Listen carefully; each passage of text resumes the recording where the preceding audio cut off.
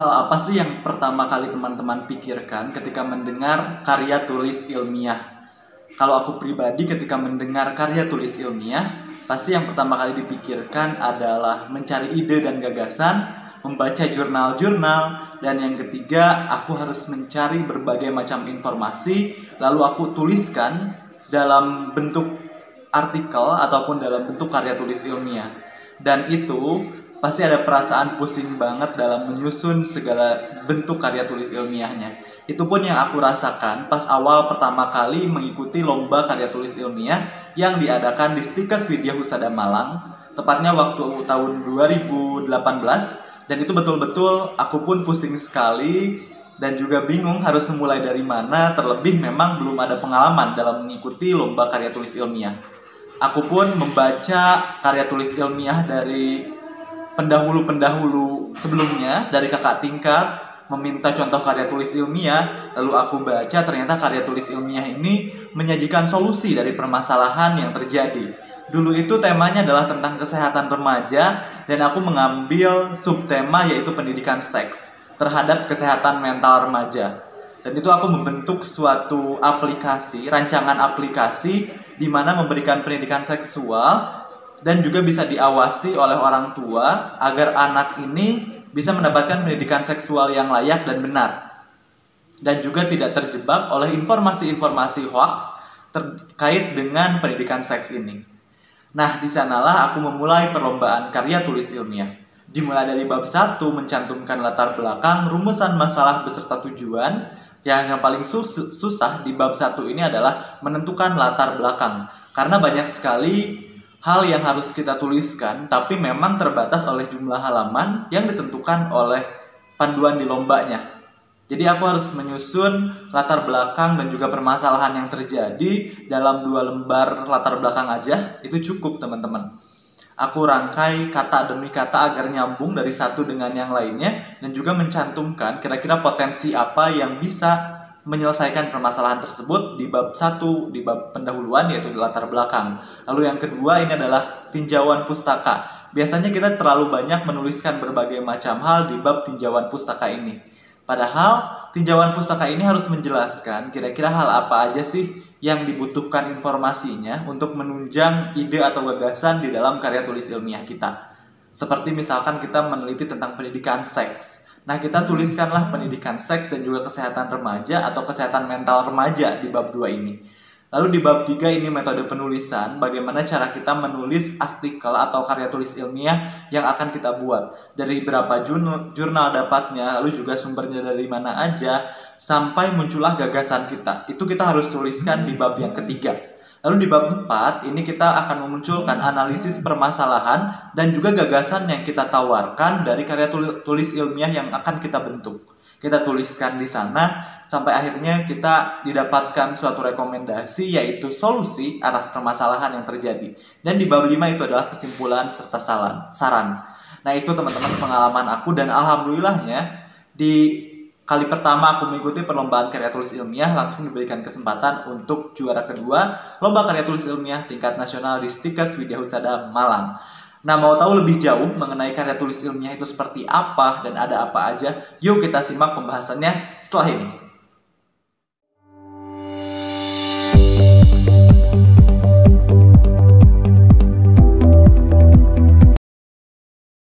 Assalamualaikum warahmatullahi wabarakatuh. Selamat pagi, siang, dan malam kepada seluruh peserta dan juga penonton video YouTubeku kali ini. Berbagi inspirasi berprestasi melalui karya tulis ilmiah.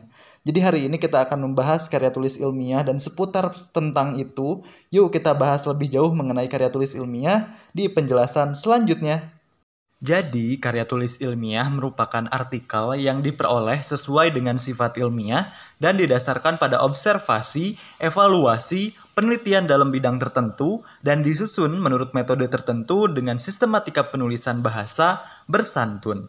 Dan isinya dapat dipertanggungjawabkan kebenarannya atau keilmiahannya menurut Eko Susilo. Jadi ada beberapa hal poin yang bisa kita ambil dari definisi ini. Yang pertama didasarkan pada observasi, evaluasi, penelitian, dan memiliki metode penulisan ataupun penelitian dalam karya tulis ilmiahnya. Lalu juga penulisan bahasanya itu menggunakan bahasa ilmiah dan juga menjawabkan kebenaran. Nah, jadi bisa kita simpulkan bahwa karya tulis ilmiah ini merupakan artikel atau makalah yang dibentuk berdasarkan hasil penelitian yang mana dilakukan observasi terlebih dahulu, lalu dilakukan evaluasi dan penelitian. Lalu disajikan dalam bentuk tulisan yang tersistematika dengan menggunakan bahasa yang ilmiah. Sedangkan menurut Mariadi bahwa karya ilmiah merupakan karya yang berisi dan menilai masalah tertentu dengan menggunakan kaidah ilmu. Jadi kita mencari permasalahan yang kita nilai dan kita observasi berdasarkan dengan kaidah-kaidah tertentu. Lalu menurut Munawar, penulisan ilmiah merupakan sebuah naskah yang membahas suatu permasalahan tertentu atas dasar konsepsi ilmiah tertentu dengan memilih metode tertentu dari presentasi secara keseluruhan pada sistem yang teratur dan juga konsisten. Jadi memang karya ilmiah ini harus memecahkan atau membahas permasalahan tertentu dengan konsep kaidah ilmiah dan juga dengan metode tertentu yang mana mempresentasikan dari awal sampai akhir yang konsisten dan juga Selanjutnya kita akan membahas mengenai syarat-syarat karya tulis ilmiah. Ada berapa sih syarat karya tulis ilmiah? Itu ada tiga. Yuk kita bahas lebih lanjut mengenai syarat-syarat karya tulis. Yang pertama yaitu menggunakan metode ilmiah atau cara berpikir ilmiah. Jadi dalam menulis karya tulis ilmiah, ini kita tidak bisa seenaknya menuangkan pemikiran-pemikiran kita saja tanpa didasari oleh fakta-fakta yang mendukung dan penelitian-penelitian yang mendukung. Jadi dalam menulis karya tulis ilmiah ini bukan sekadar kita menuangkan sesuatu secara fiksi atau imajinasi yang muncul dalam diri kita, tapi memang harus dituliskan juga fakta-fakta yang mendukungnya apa, metode pencariannya seperti apa, sampai akhirnya kita bisa menuangkan ide atau gagasan tersebut. Syarat yang kedua adalah sosok penampilannya harus sesuai dan telah memenuhi persyaratan sebagai suatu tulisan keilmuan. Jadi harus terstruktur di mana biasanya dalam penulisan karya tulis ilmiah ini ada tahapan-tahapannya dan juga bab satunya harus apa, bab duanya harus apa, bab tiganya harus apa. Jadi memang harus sesuai dengan kaidah penulisan karya tulis ilmiah. Jadi buat teman-teman yang mau mengikuti lomba karya tulis ilmiah atau membuat karya tulis ilma, ilmiah, silahkan sesuaikan dengan ketentuan yang biasanya telah ada pedomannya, disesuaikan dengan ketentuan tersebut. Karena kaidah penulisan ilmiah ini harus sesuai dengan persyaratan, harus sesuai dengan kaidah atau yang ada di panduan. Karena kalau kita tidak mengikuti kaidah tersebut, maka hal tersebut justru tidak akan bisa kita sebut dengan karya tulis ilmiah. Dan syarat yang terakhir adalah isi kajiannya berada pada lingkup pengetahuan ilmiah. Jadi memang bukan sekadar kita menuliskan opini yang merupakan hasil pemikiran kita saja, tapi isi kajiannya harus disesuaikan dengan penelitian-penelitian lebih lanjut dan juga disesuaikan dengan penelitian terdahulu serta disesuaikan pula dengan apa yang telah terjadi hari ini. Jadi memang seperti itu dalam penulisan kajian ilmiah ini harus disesuaikan isinya itu harus seperti apa. Jadi bukan sekadar opini atau gagasan kita saja, tapi juga harus disesuaikan dengan fakta yang terjadi, lalu adakah penelitian yang mendukung akan ide dan gagasan kita. Selanjutnya, kita akan membahas mengenai sikap-sikap ilmiah dalam penulisan karya tulis ilmiah ada tujuh sikap yang harus kita ketahui dan harus kita implementasikan dalam menuliskan karya tulis ilmiah. Yuk kita simak lebih lanjut mengenai sikap-sikap ilmiah tersebut. Yang pertama yaitu sikap ingin tahu. Sikap ingin tahu ini akan terlihat pada kebiasaan bertanya seseorang tentang berbagai macam hal yang berkaitan dengan bidang kajiannya. Jadi memang sikap ingin tahu ini sangat penting sekali untuk dimiliki oleh orang yang akan menulis karya tulis ilmiah. Karena memang ini suatu bentuk kritis kita terhadap sesuatu hal yang diberitahukan, terhadap informasi yang diberikan. Kita pun harus menanyakan apakah betul karya yang kita buat ini memang menyelesaikan permasalahan dan memang penting untuk di lakukan penelitian ataupun dilakukan solusinya seperti itu. Apakah ini benar-benar masalah yang paling penting atau mungkin hanya keinginan kita saja untuk menyelesaikannya. Padahal masalahnya itu tidak begitu penting dan tidak menjadi prioritas. Nah, kita harus mengetahui hal tersebut. Tentu caranya adalah dengan mencari tahu, banyak bertanya, dan juga banyak mencari informasi dari jurnal penelitian sebelumnya ataupun dari artikel-artikel yang telah dipublikasikan sebelum-sebelumnya. Yang selanjutnya adalah sikap kritis. Sikap kritis ini akan terlihat pada kebiasaan seseorang mencari informasi sebanyak mungkin yang berkaitan dengan bidang kajian yang akan dijadikan karya tulis ilmiah. Hal tersebut tujuannya untuk apa? Yaitu untuk membandingkan adanya kelebihan kekurangan dari jurnal yang satu atau dari artikel yang satu dengan artikel yang lain, kecocokan atau tidaknya dengan karya tulis yang akan kita buat, dan juga kebenaran atau tidak benarnya informasi yang kita dapatkan dan lain sebagainya. Kita harus mencari tahu informasi tersebut dari berbagai macam jurnal agar informasi yang kita tuliskan dalam karya tulis ilmiah ini betul-betul bisa dipertanggungjawabkan. Biasanya kita mencari jurnal-jurnal yang memang sudah terindeks secara nasional maupun internasional agar referensi yang kita gunakan ini betul-betul bisa dipertanggungjawabkan. Selanjutnya adalah sikap objektif. Sikap objektif ini terlihat pada kebiasaan seseorang untuk menyatakan apa adanya sejujur-jujurnya berdasarkan pada data yang ada tanpa dilibatkan pada perasaan-perasaan pribadi. Nah, hal ini akan menjadi dilematis ketika kita akan membuat karya tulis ilmiah dan ternyata fakta yang ada tidak sesuai dengan apa yang kita pikirkan. Tulis, tuliskanlah sebetul-betulnya, tuliskanlah yang sebenar-benarnya sesuai dengan fakta dan data yang muncul. Jangan dilebih-lebihkan ataupun jangan dikurang kurangi hanya karena tidak sesuai dengan harapan kita, tidak sesuai dengan ide dan gagasan kita. Karena memang dalam menulis karya tulis ilmiah ini harus sesuai dengan fakta dan data. Yang selanjutnya adalah sikap ingin menemukan, yaitu kita selalu memberikan saran-saran untuk eksperimen baru dan juga menerima saran. Kebiasaan menggunakan eksperimen-eksperimen dengan cara yang baik dan konstruktif akan selalu memberikan konsultasi yang baru dari pengamatan yang dilakukannya.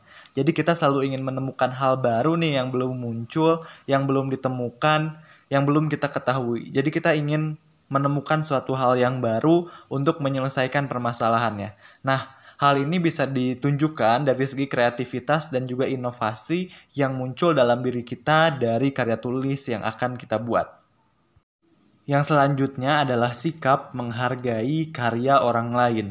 Sikap menghargai karya orang lain ini akan terlihat pada kebiasaan seseorang yang menyebutkan sumber data atau sumber informasi secara jelas Sekiranya pernyataan atau pendapat yang disampaikan memang berasal dari pernyataan atau pendapat atau penelitian orang lain. Jadi kita harus menghargai karya orang lain yang kita dapatkan informasinya dengan menyebutkan informasi tersebut didapatkan dari siapa, gunakan sitasi yang baik dalam penulisan karya tulis ilmiah, karena kita pun akan tidak merasa enak ketika karya kita diambil secara sengaja oleh orang lain tanpa mencantumkan nama kita.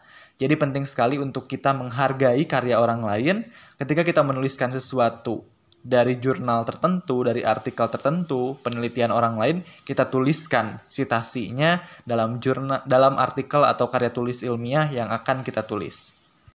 Yang selanjutnya lagi adalah sikap tekun yaitu perasaan tidak bosan dan sikap tidak bosan yang mengada untuk mengadakan penyelidikan, bersedia mengulangi eksperimen yang hasilnya itu diragukan, atau bersedia mencari jurnal lain ketika kita ragu nih dengan hasil jurnal ini. Tidak akan berhenti melakukan kegiatan-kegiatan apabila belum selesai. Terhadap hal-hal yang ingin diketahuinya, ia selalu berusaha untuk bekerja dengan teliti. Ini penting sekali sikap tekun ini untuk dilakukan dan juga untuk dimiliki oleh seseorang yang sedang mengerjakan karya tulis ilmiah. Karena biasanya kita akan bosan, kita akan boring, sehingga di pertengahan jalan kita ingin berhenti menuliskan karya tulis ilmiah.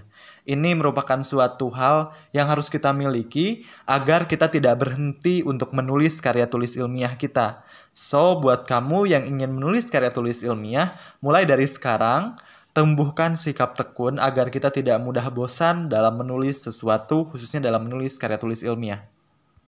Lalu yang ketujuh adalah sikap terbuka di mana sikap terbuka ini akan terlihat pada kebiasaan ketika kita mau mendengarkan pendapat, argumentasi, kritik, dan keterangan dari orang lain, walaupun pada akhirnya pendapat atau argumentasi serta kritik tersebut yang didapatkan dari orang lain itu tidak diterima karena tidak sepaham atau tidak sesuai dengan karya tulis ilmiah kita.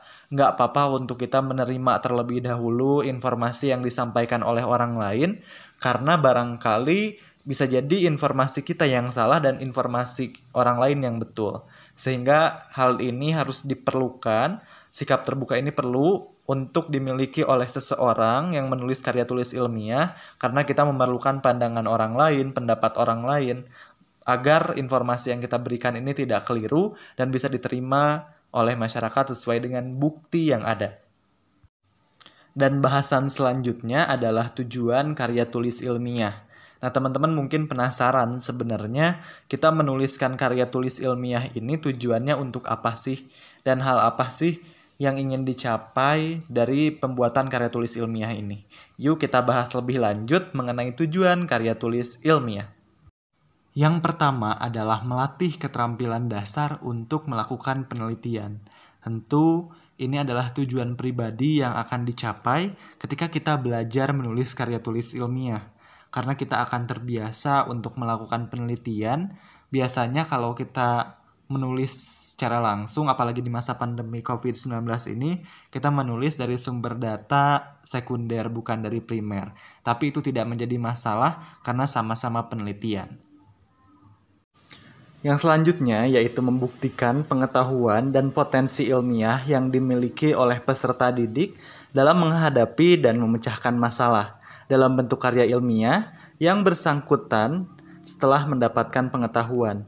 Jadi memang hal ini bertujuan untuk membuktikan pengetahuan dan potensi ilmiah yang dimiliki dan juga didapatkan untuk diklarifikasi dan juga apakah informasi tersebut betul atau tidak. Jadi kita harus mengetahuinya dengan cara melakukan penelitian ataupun uh, penelitian secara ilmiah agar kita mengetahui oh ternyata betul pengetahuan yang didapatkan ini merupakan suatu hal yang bisa dipertanggungjawabkan.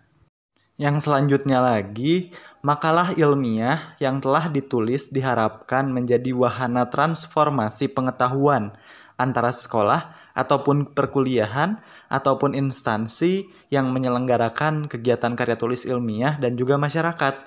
Jadi memang diharapkan ini bisa menjadi suatu pembaharuan, suatu transformasi antara pengetahuan yang muncul di masyarakat dengan yang terjadi sekarang ini.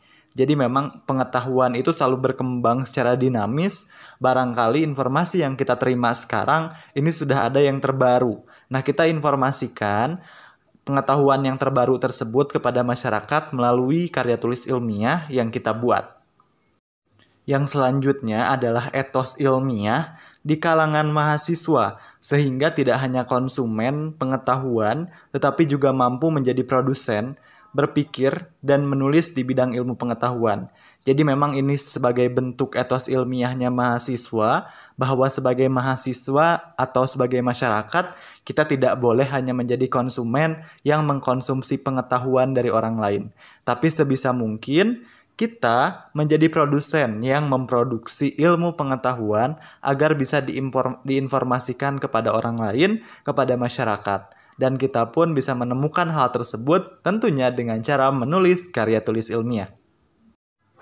Dan yang terakhir adalah sebagai wahana untuk melatih ide tersurat atau hasil penelitian dalam bentuk karya ilmiah yang sistematis dan metodologis. Jadi penting sekali ini untuk dilakukan karena memang karya tulis ilmiah ini adalah wahana atau wadah untuk kita menuliskan, melatih ide tersurat atau hasil penelitian dalam bentuk karya ilmiah, tentunya dengan cara yang tersistematis dan metode yang dapat dipertanggungjawabkan. Sehingga karya tulis ilmiah yang kita buat ini bisa diterima oleh masyarakat karena berisikan fakta dan data yang didukung dari solusi serta gagasan yang kita dapatkan tidak hanya sekadar gagasan, tapi memang didukung oleh hasil penelitian. Dan subbahasan selanjutnya yaitu ciri-ciri karya tulis ilmiah. Yuk kita simak apa saja ciri-ciri dari karya tulis ilmiah. Yang pertama adalah reproduktif. Artinya karya ilmiah yang kita tulis atau yang ditulis oleh peneliti itu harus bisa diterima dan dimaknai oleh pembacanya sesuai dengan makna yang ingin disampaikan.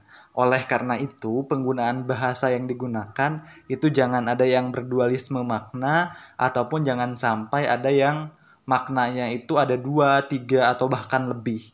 Jadi penting sekali untuk kita menuliskan karya tulis ilmiah sesuai dengan bahasa atau kata baku agar memang tidak menimbulkan dualisme pemikiran atau makna oleh orang lain. Pembaca harus bisa langsung memahami konten dari karya ilmiah. Oleh karena itu, dari sekarang kita mulai untuk menulis karya tulis ilmiah ini dengan kata-kata baku dan kata-kata yang sesuai, baik dan benar dalam ejaan bahasa Indonesia maupun dalam bahasa Inggris. Yang selanjutnya adalah tidak ambigu. Ciri ini ada kaitannya dengan reproduktif tentunya yang tadi telah disebutkan. Sebuah karya tulis ilmiah harus memberikan pemahaman secara detail dan tidak dikemas dengan bahasa yang membingungkan. Jadi kita harus menggunakan bahasa yang bisa dimengerti oleh banyak orang. Dengan begitu, maksud dari karya ilmiah ini bisa langsung diterima oleh pembacanya. Jadi kita harus memahami nih, karya tulis ilmiah ini akan dibaca oleh masyarakat secara luas oleh karena itu, kalau misalkan ternyata jurnal ini akan dipublikasikan dalam bahasa Indonesia dan termasuk jurnal nasional, maka gunakanlah bahasa Indonesia yang baik dan benar sesuai dengan pedoman umum ejaan bahasa Indonesia. Karena dengan menggunakan panduan tersebut, karya tulis ilmiah yang kita buat ini akan mudah dipahami oleh masyarakat. Yang selanjutnya adalah tidak emotif. Artinya, karya tulis ilmiah yang kita tulis tidak melibatkan aspek perasaan dari penulisnya. Sebab karya ilmiah itu harus memaparkan fakta yang didapatkan dari hasil analisis penelitian, bisa jadi literatur review, bisa jadi penelitian secara langsung, bukan dari perasaan subjektif dari penulisnya. Karena kalau kita melibatkan perasaan kita dan menuliskannya, maka ini akan menjadi beda persepsi, beda pandangan, dan ditakutkan pembaca pun akan menimbulkan perasaan-perasaan yang mana emosionalnya itu tidak bisa dikontrol. Jadi untuk meminimalisir hal tersebut, ketika kita menulis karya tulis ilmiah, hanya memaparkan data, fakta, dan analisis dari hasil penelitian. Yang selanjutnya ini sudah disinggung tadi di awal bahwa dalam penulisan karya tulis ilmiah harus menggunakan bahasa baku menggunakan bahasa baku ini tujuannya untuk apa? Tujuannya agar dari Sabang sampai Merauke ini mudah memahami karena katanya kata-kata yang kita gunakan ini memang sudah ada dan sudah jelas panduannya. Penggunaan bahasa baku itu meliputi setiap aspek penulisannya. Dimulai dari kita harus kalimatnya itu harus SPOK, harus lengkap dan juga tidak menggunakan padanan istilah asing yang tidak ada dalam bahasa Indonesia-nya. Jadi gunakan padanan istilah asing yang ada dalam bahasa Indonesia. Yang selanjutnya adalah menggunakan kaidah keilmuan. Penulisan karya tulis ilmiah harus menggunakan kaidah keilmuan atau hal-hal dari latar belakang akademik kita dari bidang penelitian si penulis yaitu kita Hal itu bertujuan untuk menunjukkan bahwa peneliti atau penulisnya memiliki kapabilitas dan kompetensi dalam bidang kajian yang akan dibahas dalam karya tulis ilmiah. So, buat kita nih, misalkan aku latar belakangnya keperawatan, maka dari itu aku akan melakukan karya tulis ilmiah atau menulis karya tulis ilmiah yang ada hubungannya dengan keperawatan. Karena itu penting sekali agar karya tulis ilmiah yang kita buat ini bisa dipercaya bersifat dekoratif. Artinya, penulis karya tulis ilmiah harus menggunakan istilah atau kata yang hanya memiliki satu makna. Tadi telah disinggung ya di awal bahwa kita untuk menunjukkan rasionalisasi penulis artinya harus menonjolkan keruntutan pikiran yang logis dan juga kecermatan penelitian. Jadi memang harus sesuai nih kira-kira karya atau kalimat ataupun kata yang kita gunakan ini memiliki dua makna atau bahkan lebih atau enggak. Apakah ini seperti kiasan ataukah ini majas atau ini peribahasa itu seusaha mungkin jangan digunakan dalam karya tulis ilmiah karena nanti takutnya akan memunculkan suatu makna baru ataupun lebih dari satu makna yang akan menyulitkan pembaca dalam membaca karya tulis ilmiah kita.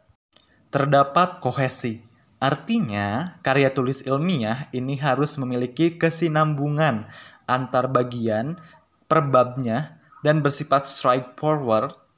Maksudnya ialah tidak bertele-tele atau tepat sasaran.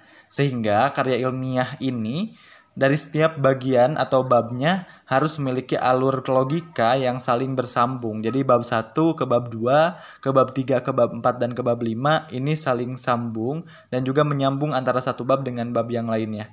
Karena ini penting sekali untuk kita lakukan dan penting sekali untuk dipahami agar memiliki kohesi antara satu dengan yang lainnya. Kalau tidak nyambung, nanti akan sulit dibacanya dan pembaca tidak akan paham karya tulis ilmiah kita ini tujuannya ke mana, ke arah mana, dan ingin memunculkan gagasan apa. Yang selanjutnya adalah bersifat objektif. Karya ilmiah harus bersifat objektif karena memang sangat penting dan karya ilmiah ini tidak dibuat berdasarkan apa yang dipikirkan oleh penulis, apa ide gagasan penulis, apa pendapat penulis, karya ilmiah harus menunjukkan fakta-fakta dan data-data dari hasil analisis yang didapatkan, dari penelitian yang didapatkan. Jadi kita harus menuliskannya sesuai dengan data yang ada. Tidak boleh menuliskan apa yang kita pikirkan, apa yang kita inginkan. Ini adalah ciri terakhir dari karya tulis ilmiah, yaitu menggunakan kalimat yang efektif dan penulisan karya tulis ilmiah ini harus menggunakan kalimat efektif karena semua cirinya ini akan saling berkaitan. Tujuan penggunaan kalimat efektif ini untuk apa? Yaitu agar pembaca tidak dipusingkan dengan penggunaan kalimat yang berputar-putar. Jadi fokus uh, pada kalimat yang efektif, kita ingin membahas apa, maka kita jangan bahas ulang lagi di satu sisi, di satu tempat. Fokus pada kalimat efektif fokus kita bahas tujuannya ingin apa, maka segala hal yang kita tulis adalah hal-hal yang berkaitan dengan tujuan dari karya tulis ilmiah kita. Hmm, ciri-ciri yang tadi pasti teman-teman penasaran kan? Apa sih tips and triknya dalam menulis karya tulis ilmiah ini dalam menemukan ide dan gagasan kita? Nah, sebenarnya tips and trick ini tuh lebih ke dalam menemukan gagasan. Pasti kadang kita pusing kan, kita ada ingin menulis karya tulis ilmiah seperti apa, gagasan apa yang ingin kita munculkan. Nah, inilah tips and trick karya tulis ilmiah. Hal yang menjadi tips and trick adalah prinsip ATM ATM merupakan sebuah prinsip atau strategi yang bisa kita lakukan untuk tetap kreatif, memunculkan ide atau gagasan baru, dan berpikiran fresh, serta menyediakan sesuatu yang lebih unik dan belum ada sebelum-sebelumnya. Dan tidak bisa dipungkiri jika ATM ini adalah cara yang tepat untuk mendapatkan banyak konsumen, serta agar kita bisa bertahan diri dari persaingan yang ada. Nah, tentu dalam membuat karya tulis ilmiah, kita harus memunculkan ide gagasan baru, tujuan penulisan karya tulis ilmiah ini apa, dan harus berbeda dari penelitian-penelitian sebelumnya. Nah, karya tulis ilmiah ini untuk memunculkan ide ada tiga prinsip, yaitu A, yang pertama itu amati. Jadi kita kumpulkan karya tulis karya tulisnya pendahulu-pendahulu kita, kita baca, kita analisis, amati idenya apa, gagasannya apa, setelah kita mengamati ide dan gagasan dari karya tulis ilmiah sebelumnya, kita lakukan tahap T, yaitu tiru. Jadi kita tiru nih, hal apa aja sih yang bisa diambil dari penelitian sebelumnya, hal apa sih yang bisa diambil dari karya tulis sebelumnya. Lalu setelah kita mengambil intisari dan juga ada poin-poin apa saja untuk kita tiru di karya tulis ilmiah kita, kita lakukan langkah ketiga yaitu M, modifikasi pastikan kita telah mengumpulkan nih ide atau gagasan dari penulis karya tulis ilmiah sebelumnya. Ketika kita sudah mengumpulkannya, kita ambil data-datanya, kita ambil bagian-bagian pentingnya, kita modifikasi. Ternyata setelah kita baca dari karya tulis sebelumnya, ide atau gagasan ini kurang efektif dan juga kurang bisa diterapkan di masa sekarang. Nah, kita modifikasi lah karya tersebut kita modifikasi bisa jadi mengubah metode, bisa jadi menambah konten, bisa jadi kita mengubah sasaran. Jadi memang disesuaikan. Penelitian terdahulu ini harus diperbaharui sesuai dengan kondisi sekarang. Itu artinya kita berinovasi, kita berkreasi dan memodifikasi karya yang telah ada agar lebih baik lagi ditunjang oleh penelitian-penelitian terdahulu. Sehingga kita tidak meniru dan juga kita tidak plagiat, tapi kita memodifikasi dan juga memperbaharui karya yang sebelumnya sesuai dengan kondisi dan situasi sekarang ini. Dan bahasan yang terakhir yaitu hal penting dari karya tulis ilmiah yang harus kita perhatikan. Jadi memang ada beberapa hal penting yang perlu menjadi catatan bagi kita dalam menulis karya tulis ilmiah. Ada apa aja sih catatan pentingnya? Yuk kita simak bareng-bareng. Yang pertama yaitu gaya penulisan dalam membuat karya tulis ilmiah harus jelas dan tepat dalam penyampaian pesan yang bersifat reproduktif dan juga impersonal. Sehingga karya tulis ilmiah yang kita buat ini apakah sudah tepat atau belum, apakah memang karya tulis ilmiah yang telah kita buat ini sesuai atau tidak, jelas atau tidak, arah tujuannya mau ke mana. Kalau misalkan ternyata kedua hal tersebut masih belum kita bisa jawab jelas dan tepatnya, berarti ada yang salah nih di karya tulis ilmiah kita. Otomatis harus kita perbaiki agar karya tulis ilmiah kita ini sesuai dengan ketentuan yang berat, berar, ketentuan yang berlaku. Yang kedua yaitu teknik notasi dalam menyebutkan sumber dari pengetahuan ilmiah yang digunakan dalam penulisan. Jadi kita juga harus memperhatikan bagaimana cara kita menuliskan sumber atau sitasi atau notasi dari penulisan karya ilmiah kita. Ini disesuaikan dengan panduan yang ingin kita terbitkan atau yang ingin kita ikuti perlombaan karya tulis ilmiahnya. Jadi memang harus disesuaikan teknik penulisannya seperti apa. Karena kadang berbeda-beda nih dari setiap uh, instansi yang menyelenggarakan. Yang ketiga, pen penulisan karya tulis ilmiah harus menggunakan bahasa Indonesia yang baik dan benar. Jadi kita pun sambil belajar nih dalam menulis karya tulis ilmiah, bahasa yang kita gunakan itu sudah baik atau belum, sudah benar atau belum, kayak gitu. Dan ini harus dua-duanya ya, tidak hanya cukup baik dan juga tidak hanya cukup dengan benar saja. Benar ini sesuai dengan ketentuan PUEB sudah sesuai, tapi baik itu bisa diterima oleh kalangan masyarakat dan kita berarti harus menggunakan kedua-duanya. Bagaimana cara menggunakan bahasa yang benar juga bisa diterima oleh masyarakat dan juga baik pula tentunya. Karena bersifat reproduktif, jadi karya tulis ilmiah kita ini harus men harus mendapatkan dan juga harus mentransfer knowledge kepada orang lain dengan pesan yang sama sesuai dengan yang ingin kita sampaikan. Jadi kan kita ini menulis karya tulis ilmiah ada tujuannya. Tujuannya adalah untuk membuktikan ini, untuk membahas permasalahan ini.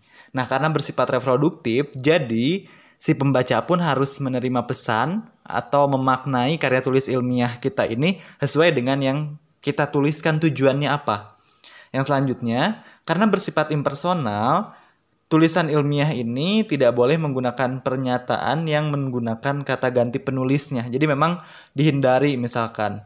Menurutku pribadi, jadi tidak boleh menggunakan hal tersebut karena ini bersifat impersonal. Dan yang terakhir yaitu teknik notasi ilmiah dapat menggunakan catatan kaki, tapi juga lebih disarankan menggunakan teknik kutipan dan sumber rujukan. Jadi ini memang menyesuaikan saja apakah diperlukan catatan kaki atau memang tidak perlu sesuai dengan panduannya karena biasanya setiap institusi, setiap lembaga yang menyelenggarakan publikasi ataupun perlombaan ini ada catatan khusus tersendiri nih dalam teknik notasi ilmiahnya. Apakah harus menggunakan catatan kaki atau tidak? Jadi silakan disesuaikan saja, jangan lupa baca panduan agar karya tulis ilmiah yang kita buat ini sesuai dengan instansi yang menyelenggarakan publikasi ataupun perlombaan. Baik, mungkin itu saja yang bisa aku sampaikan. Terima kasih kepada teman-teman yang telah memperhatikan. Jikalau teman-teman ada yang ingin ditanyakan ataupun ada yang ingin menanggapi, silahkan tinggalkan pesan di kolom komentar, tinggalkan pertanyaan di kolom komentar. Kita bahas lebih lanjut, kita diskusi lebih lanjut agar memang hal yang aku paparkan ini bisa saling kita cerahkan, bisa saling kita diskusikan, agar juga bisa menambah ilmu pengetahuan aku selaku, selagi pemateri, selaku pemateri dan juga teman-teman selaku yang mendengarkan dan menonton video ini. Yuk, kita saling menanggapi, kita saling berkomentar, dan juga kita saling memberikan pertanyaan. Terima kasih banyak. Wassalamualaikum warahmatullahi wabarakatuh.